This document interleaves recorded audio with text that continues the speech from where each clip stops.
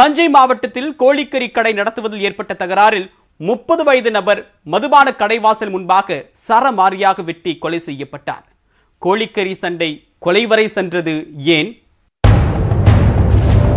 ஞாயிற்றுக்கிழமை முழு ஊரடங்கு என்பதால் அதிக மது பாட்டில்களை வாங்கி கூடுதல் விலைக்கு விற்கலாம் என மதுபான கடை வாசலில் காத்திருந்த இளைஞர் உதயா நண்பர்களாலேயே கொடூரமாக வெட்டி கொலை செய்யப்பட்டுள்ளார்.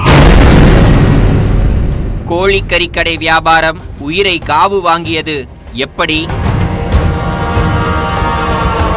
தஞ்சை மாவட்டம் அம்மாப்பேட்டையை சேர்ந்தவர் முப்பது வயதான உதயா.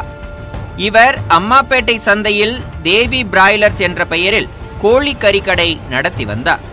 சனிக்கிழமை இரவு பத்து முப்பது மணி அளவில் தனது கடைக்கு எதிர்புறம் உள்ள மதுபான கடைக்கு சென்றார். ஞாயிற்றுக்கிழமை முழு ஊரடங்கு என்பதால் அதிக மது பாட்டில்களை வாங்கி கூடுதல் விலைக்கு விற்க திட்டமிட்டிருந்தார். உதயா வரிசையில் நின்று கொண்டிருந்தபோது அங்கு வந்த இரண்டு பேர் திடீரென உதயாவை அறிவாளால் தாக்கியுள்ளனர். அவர்களிடம் இருந்து தப்பித்துச் செல்ல அவர் முயன்றபோது அவரது முகத்திலேயே அறிவாளால் சரமாரியாக வெட்டிவிட்டு தப்பியோடிவிட்டனர். இரத்த வெள்ளத்தில் விழுந்த உதயா அங்கேயே துடிதுடித்து உயிரிழந்தார். அம்மாப்பேட்டை போலீசார் வழக்கு பதிவு செய்து குற்றவாளிகளை தேடி வந்தனர்.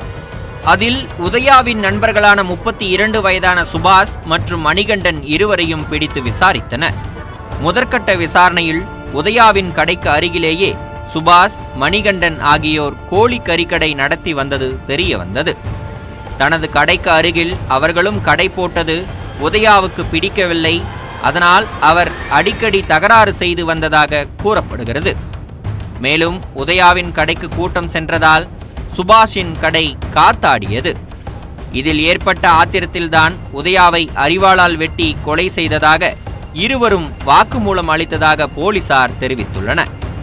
அதே நேரம் இரண்டாயிரத்தி பதினைந்தாம் ஆண்டு நடந்த கொலை வழக்கில் உதயா மீதும் வழக்கு பதிவாகி இருப்பதால் அதுவும் கொலைக்கு காரணமா என போலீசார் விசாரணை நடத்தி வருகின்றனர்.